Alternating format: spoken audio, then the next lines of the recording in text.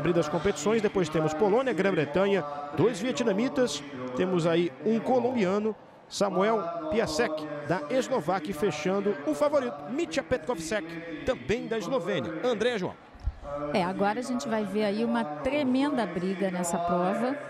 Tem muito atleta renomado, principalmente o Petkovsek, que você ressaltou agora. Além Dimit, da Eslovênia, vai abrir as competições.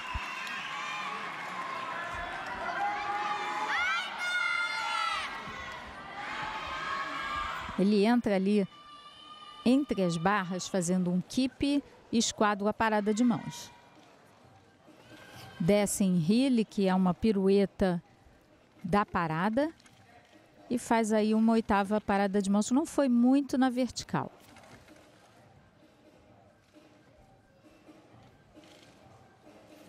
Passa pela suspensão, faz um tippet.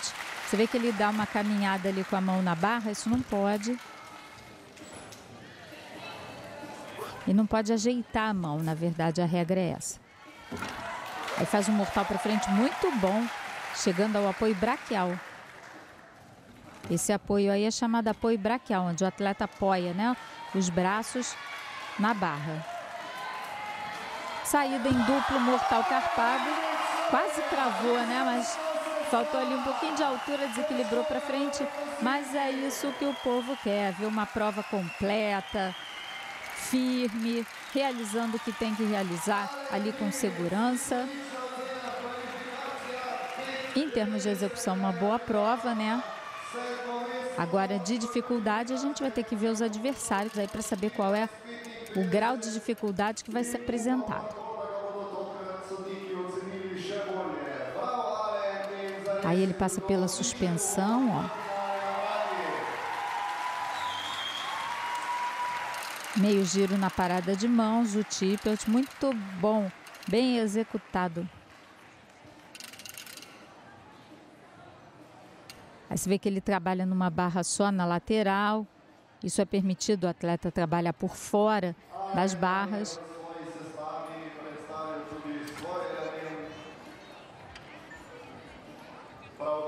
Ó, vê a hora que ele faz, né? Um lançamento das pernas para frente, giro e pega na lateral da barra. Esse movimento chamado esquadro, quando ele está ali com as pernas afastadas. E o apoio braquial para fazer o mortal para frente, chegando também no apoio braquial. Quer dizer, ele, a saída e a retomada dele são do apoio braquial. E interessante que ele não usa proteções ali né, no braço. E fez de tudo para cravar a saída, mas deu um passinho. 14.800 a nota de Allen Dimit, inclusive uma nota superior à nota da fase de classificação, quando o esloveno teve 14.550. É, foi muito bom, né? Ele deu o recado dele. Adam Kierskowski, atleta polonês.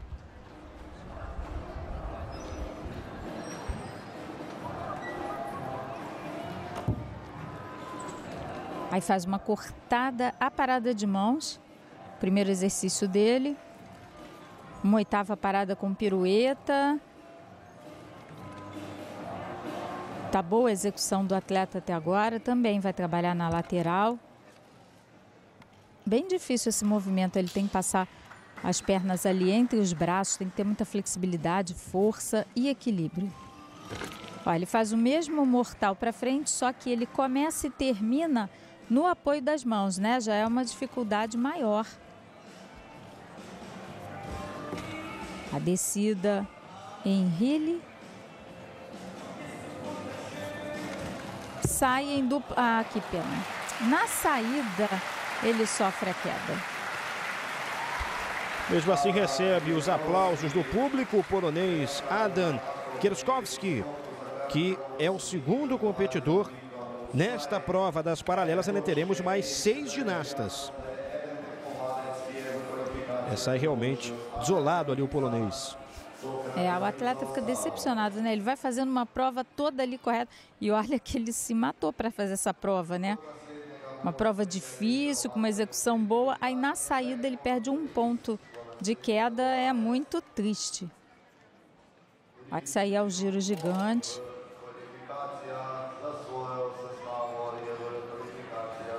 E aí a gente vê uma oitava parada de mãos, uma execução bonita, né? Ele todo alongado, esticado. Olha o mortal.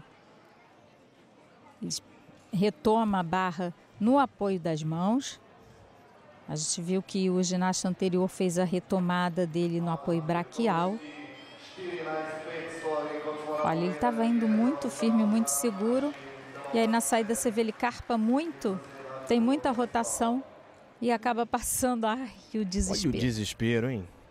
Levou as mãos à cabeça ali o técnico do polonês, 14,500. E o próprio polonês sentiu que havia feito uma boa apresentação. E um instante da finalização comprometeu a nota final do Adam Kzarkowski. É, você vê que essa queda aí foi fatal mesmo, né? A nota de, de, de execução vale 10 pontos. Com a queda, ele perde um ponto, quer dizer, a nota dele já sai de 9 e ele tirou 8,20, quer dizer, uma nota muito alta. Ele só teve, mesmo além da queda, 8 décimos de descontos. Beckford Reeds, da Grã-Bretanha. É, ele vai ali, faz aquele movimento é, em que ele cruza os braços, mas ali ele teve um erro. Ele balançou duas vezes, isso não é permitido. Também faz uma oitava com os braços ali muito flexionados. Agora sim, um tippelt muito bom, mas ele dá uma ajeitada na mão ali. Isso não pode. Errou novamente. Ele teria que ter subido ao impulso e não ali fazendo força. E mais um erro. Ele está errando muito. Isso é considerado uma queda sobre o aparelho. Apesar dele não ter uma subida ali na força com os braços bem flexionados. Jesus, é uma, é uma série toda truncada. E ainda faz uma saída ruim, com desequilíbrio para frente. Olha, essa série aí muito fraca. Já já divulgação da nota do britânico Beckford Rees. Ainda hoje para você teremos as competições no solo para mulheres e também a barra fixa que vai fechar este segundo dia de finais, prova masculina, segundo dia de finais disputado em Ljubljana, na Eslovênia. Olha, no código de pontuação tem uma tabela que se chama tabela de falhas gerais, né? Onde apontam os erros que o ginasta comete e quanto ele perde em cada erro. Ele praticamente aí fez, usou a tabela de falhas gerais inteira, né? Teve balanço, teve desequilíbrio, teve pernas flexionadas, teve queda. Tô até curiosa para ver a nota de execução dele. Faltam apenas quatro jogos para o fim do Campeonato Português e o Benfica vai em busca de mais uma vitória para ficar cada vez mais perto do título. Amanhã tem Marítimo e Benfica, quatro da tarde, ao vivo no Sport TV. Aí na saída também ele dá um passo para frente, chega faltando altura.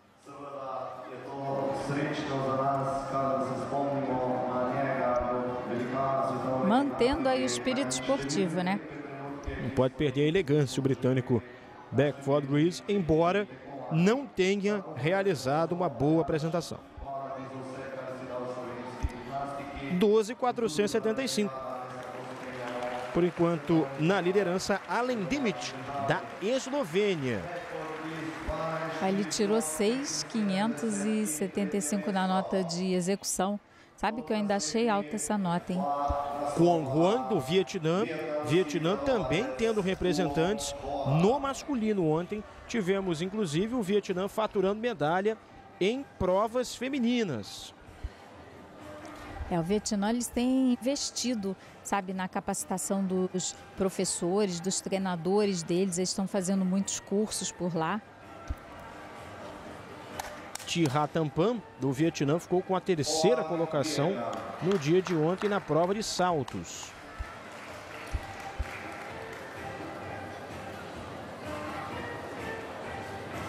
o técnico fica ali do lado para puxar a prancha assim que ele fizer a entrada, ele vai tirar a prancha que é para o ginasta não bater com o pé, não cair ali em cima.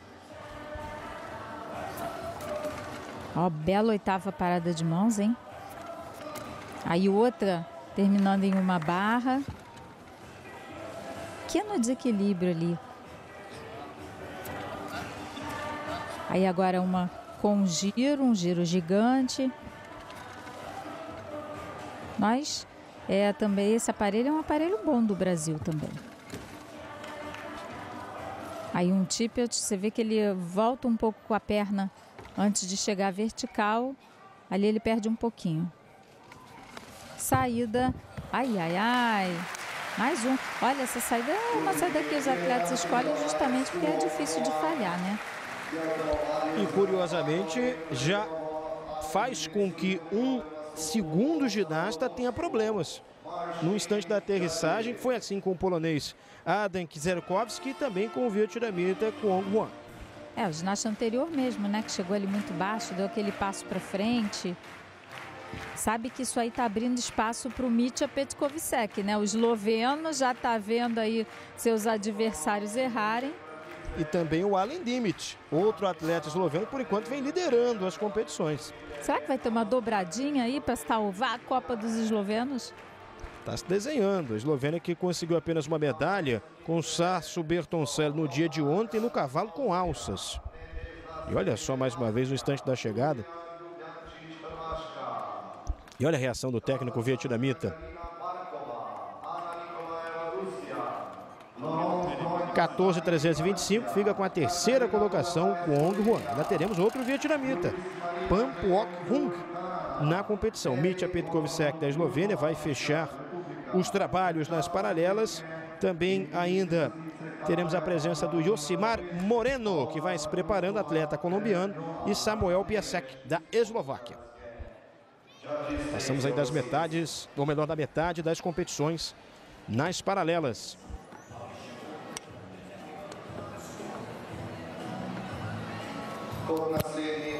O árbitro chamou e ele ainda está preparando o aparelho. E tinha que ser mais rápido. E já, quando o árbitro chama, o atleta já, já tem que estar tá pronto.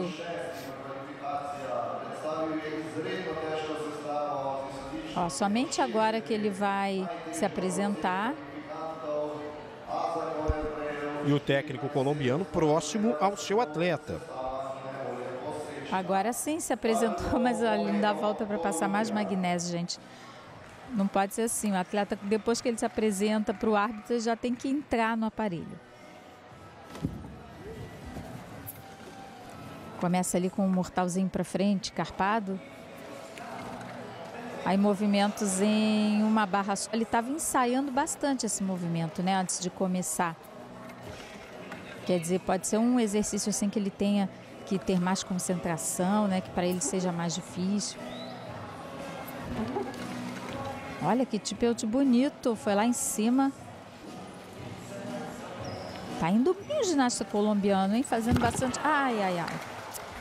Oh, puxa vida, ele estava fazendo uma prova ótima. Que pena. Acabou sofrendo uma queda o Rosimar Moreno. Vai aproveitar essa pausa para passar ali mais magnésio para recomeçar de onde parou a série. E olha aí o técnico colombiano provavelmente lamentando, pois o atleta colombiano, seu pupilo Moreno, vinha tendo aí um bom desempenho. Olha, foi realmente uma lástima, né? Ele estava indo ali todo certinho e foi escorregou a mão, né? Não foi nenhum erro técnico. Saída entre Carrara, na ponta da paralela, até que enfim alguém inovou, saiu diferente. O código agora tem que valorizar né, essas, esses movimentos assim, senão a gente fica vendo sempre o mesmo exercício e aí não tem graça, né? A gente quer ver a variedade, os atletas serem versáteis, criativos. E aí o colombiano até tentou, né? Mas ele escorregou a mão. Vamos rever aí a apresentação dele, ó, apoio braquial, ele faz um mortalzinho para frente muito bonito, carpado. Aí uma oitava parada, esse exercício, ele estava ali se concentrando bastante antes da apresentação para fazer. Ele tem um, uma perda de equilíbrio ali. Agora ele passa pela suspensão, ó. Belo movimento, veio terminando ali na vertical certinho. Aí como ele sobe, E agora veja a mão esquerda dele escorregou. E aí por outro ângulo, como acabou perdendo ali o contato com uma das barras, o colombiano, e isso comprometeu a sua apresentação. E esse é o fechamento. Um instante da saída do Rosemar Moreno, que fica com 14 pontos na quarta colocação. Por enquanto, na liderança, Allen Dimit, com 14,800. Atleta local, atleta da Eslovênia, restando três ginastas neste aparelho. Puxa, eu fiquei com pena ali porque não foi assim um erro técnico, né? Ele escorregou a mão e aí ele não conseguiu passar por baixo da barra. Outro vietnamita, Pan Puok Hung, recebendo aplausos do público esloveno. São imagens do Memorial Salamonov em Ljubljana, na Eslovênia. Esse ginásio que fica localizado em um hotel na capital eslovênia, eslovênia capital eslovena, Eslovênia que fica aí no leste da Europa. É, ver o, próximo ginasta, todo o cuidado que ele está tendo ali, né, na preparação das barras, justamente para que não aconteça o que aconteceu com o colombiano. O árbitro chamou, ele ainda estava passando magnésio, ainda estava se preparando. Olha, esse já usa a proteção para fazer o apoio braquial. Isso é uma opção do atleta.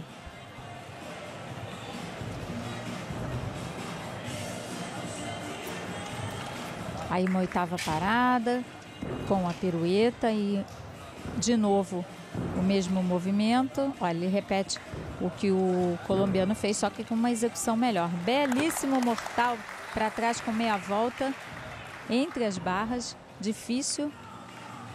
Faz também mais uma largada, um mortal para frente. Ali chegou pesado nos braços, né?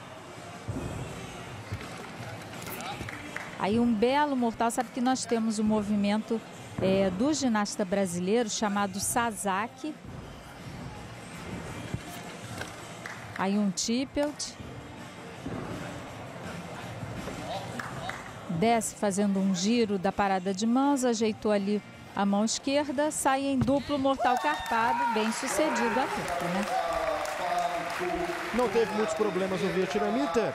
Pan Puok Hung, recebendo aplausos do técnico. O Vietnã colocou dois ginastas nesta final nas paralelas. E já já vamos ter a divulgação da nota final do vietnamita. Lembrando que Allen Dimit, da Eslovênia, tem 14.800 e vem liderando as competições até aqui neste aparelho, restando ainda o eslovaco Samuel Piasek, que será o próximo, e Mitya Petkovicek, da Eslovênia. É, ele conseguiu fazer exercícios difíceis, conseguiu uma boa execução durante a série, não teve nenhuma falha grave. Aí você vê na hora em que ele faz a oitava parada e termina com as duas mãos numa barra só.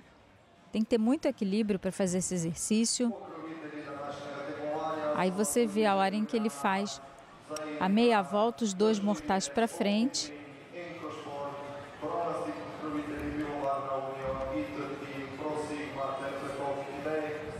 Aí esse movimento que o nosso ginasta brasileiro Sérgio Sasaki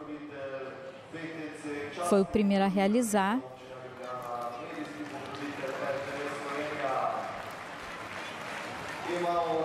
E ele vai para a saída em duplo mortal carpado. Também foi uma boa saída, um pequeno desequilíbrio no final. E assume a primeira colocação o vietnamita Pan Puok Hung, 15,700. E já joga uma pressão extra aí para cima do Mitya Petkovicek, atleta da casa, um dos favoritos. Também uma pressão para cima do Samuel Piasek, da Eslováquia, penúltimo nas paralelas. É, vão se apresentar agora os dois melhores ginastas nesse aparelho, sem dúvida, mas tudo vai depender da execução, né? Porque o vietnamita foi muito bem. Vamos ver o Piazek, atleta muito experiente, veterano. Aí, belo exercício, né? Ele fica com as duas mãos na mesma barra e desce em pirueta. Faz um mortal da mão para mão, né? Ou seja, ele começa com o apoio das mãos e termina com o apoio das mãos. Aí você vê outro exercício bem realizado, ele deveria terminar um pouquinho mais na vertical e crava sério o Petkovsek sai em duplo mortal carpado. Série muito boa.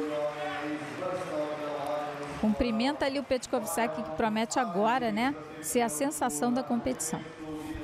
Vamos chegando ao final das competições nas paralelas. Aí você observando momentos da apresentação do Samuel Piasek da Eslováquia. Nós teremos o Mitya Petkovsek da Eslovênia. Já já para você também as competições no solo para mulheres. E fechando este segundo dia de finais, as provas na barra fixa. Olha, a execução do Piasek muito boa, né? Ele faz dificuldades, ele tem uma ótima execução. Olha aí esse chute que ele faz das pernas, girando uma pirueta e terminando na parada de mãos, a saída em duplo mortal carpado, chegando ali bem de pé.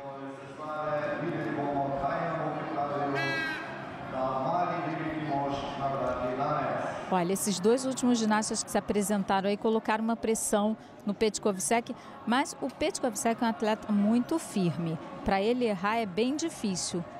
Vamos ver se essa pressão aí colocada pelos ginastas anteriores vai abalar a, a execução do Piasek, hein? Oh, perdão, do, do Petkovsek. Já já 11 da manhã, o Sport TV mostra para você mais uma etapa da Stock Car Brasil, etapa disputada em Tarumã, no Rio Grande do Sul. Daqui a pouquinho, às 11 da manhã. Ginasta experiente, o Petkovsek já está lá preparando as barras, fazendo seus testes, enquanto o adversário espera sua nota.